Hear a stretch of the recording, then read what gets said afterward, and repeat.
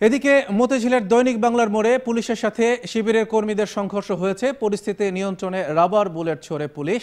পূর্ব ঘোষিত কর্মসূচি অনুযায়ী দৈনিক বাংলা মোড়ে মিছিল বের করলে পুলিশ তাদের বাধা দেয়।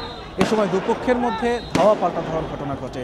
এরপর দুপুর তিনটার দিকে মতিঝিলে নয়া দিগন্ত পত্রিকার কার্যালয়ে হামলা চালায় দুর্বৃত্তরা। এ সময় অফিসের সামনে থাকা একটি গাড়িতে আগুন ধরিয়ে দেওয়া হয়। পরে ফায়ার সার্ভিসের কর্মীরা আগুন নিয়ন্ত্রণে আনে।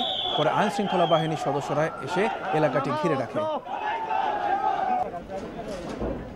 সামনে দাস তুই এই ফেরে।